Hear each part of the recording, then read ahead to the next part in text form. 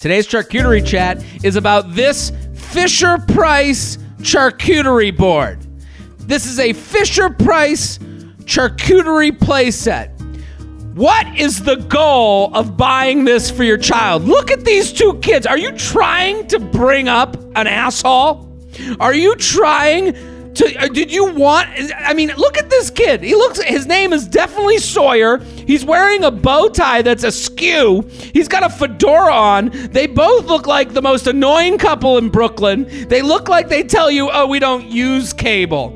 We love vinyl. Do you have any vinyls that we can play? They, I, I, I don't understand what you're trying to bring into this world when you buy your kid this. What are you trying to teach them?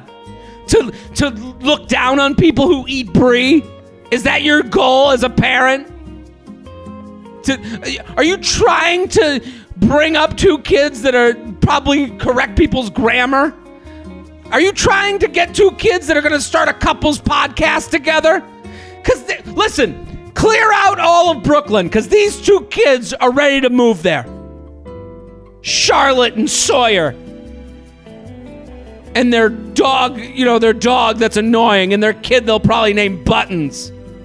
And you'd be like, You named a child Buttons? And they're like, Yeah, my parents bought me a Fisher Price charcuterie set. So what'd you fucking expect? I'm just saying. Charcuterie, let people find charcuterie.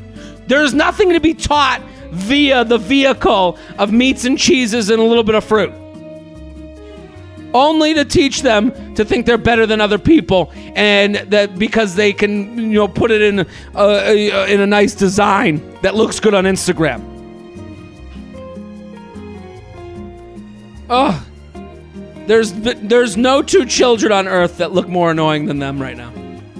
That's today's charcuterie chat. You can send in your charcuterie chat to jtrainpodcast at gmail.com. jtrainpodcast at gmail.